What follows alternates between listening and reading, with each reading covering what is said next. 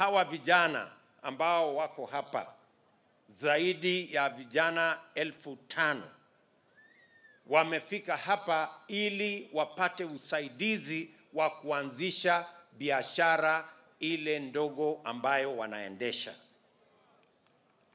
Na mimi nataka niwaambie kabisa, kwa sababu hii biashara tumeona hapa, biashara ya mechanic, ile ya bodaboda hapo, Bwana Koome nilikutana na yeye miaka mitatu iliyopita, alipatiwa vifaa ya shilingi elfu ishirini na tano.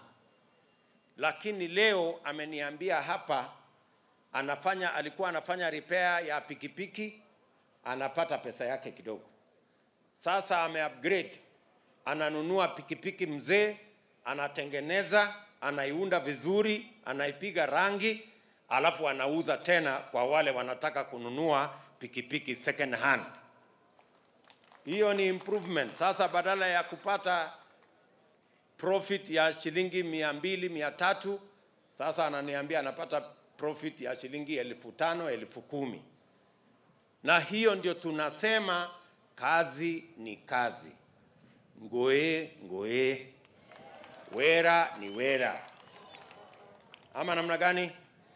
Na ndio mnasikia tukisema hivi, na nataka mnielewe vizuri. Mnasikia tunasema kazi ni kazi, ni kwa sababu tunataka kupindua mambo ya sera yetu ya uchumi, mpango wetu na model ya uchumi kwa muda mrefu imekuwa ile inaitwa trickle down economics. Sasa tunataka kubadilisha tuseme bottom up economics, badala ya kuanzia juu ati mahasla wangojee chini. Sasa tutaanza hapa chini kwa mahasla, wale wako juu wako na uwezo, watajipanga. Nyenye mnanielewa? Na ndio mimi nimekuja hapa makusudi, kwa sababu huyu Reagan na kamati hii na board ya Zoe wanafanya kazi ambayo tutaibadilisha iwe ndio sera ya serikali kuanzia mwaka ujao.